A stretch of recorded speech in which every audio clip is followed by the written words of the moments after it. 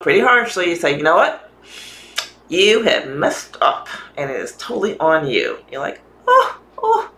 But then you say, you know what? We're going to forgive you. going to forgive you, but you got to improve, and here's the improvement plan. Now, you get to be as stern or lenient as you want to be with yourself with the improvement plan.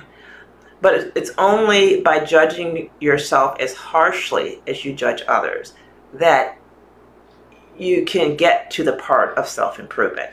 And so, again, when people mess up with this, is they judge themselves as harshly as they judge others, but then they decide to punish themselves. No. You need to understand that the fact you did wrong really is its own punishment. it's punishment enough. So acknowledge that you're not perfect, acknowledge that you messed up, and then examine carefully what you've done and what you can improve. And you can even make a small incremental improvement. Doesn't need to be overnight big deal.